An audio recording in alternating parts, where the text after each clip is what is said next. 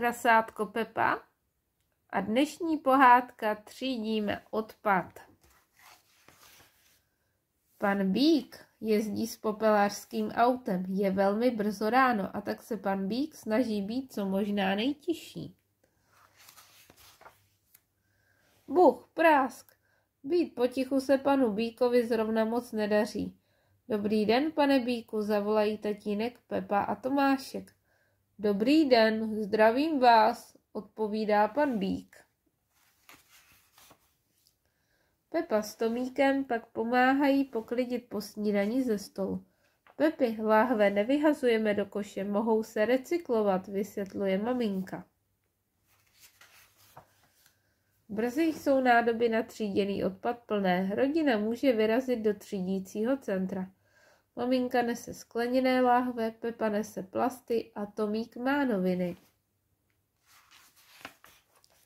Jste připraveni? volá tatínek. Ano, odpovídají Pepa a Tomík. Jedeme. Vrum, vrum, tu, tu. Brzy prasátkovi dorazí do třídícího centra paní Zaječice. Paní Zaječice sedí v kabině vysokého jeřábu. Právě přenáší stará rezavá auta k recyklaci. Dělá veliký hluk. Do kterého pak kontejneru patří sklo, ptá se maminka. Do zeleného, volá Pepa. Správně, Pepi, chválí Pepu tatínek. A do modrého kontejneru patří plasty, dodá Pepa. Velmi správně, Pepičko, usmívá se maminka. Ale u nás v České republice do modrého patří papír.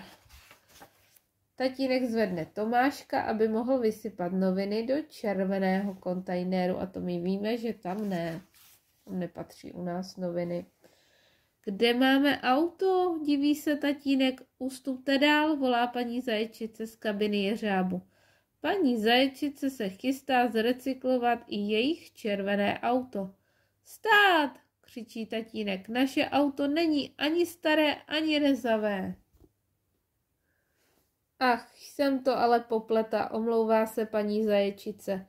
Já mám prostě recyklování ráda. My také směje se Pepa, ale máme rádi i naše autíčko. A to je konec celé knížky.